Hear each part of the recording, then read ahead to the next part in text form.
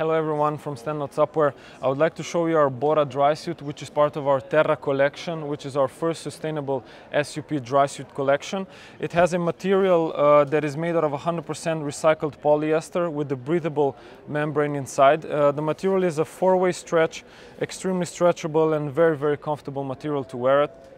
Uh, it has a closed neoprene collar, which is 100% dry, which makes it which makes it suitable for more uh, action paddling or some downwind sessions, let's say.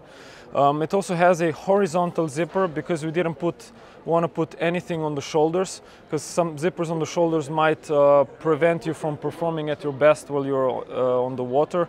Um, the dry suit will be available from mid-October on, so actually very soon. In shortly, this is it about our new Bora dry suit, part of our new Terra collection, and uh, thank you so much for watching.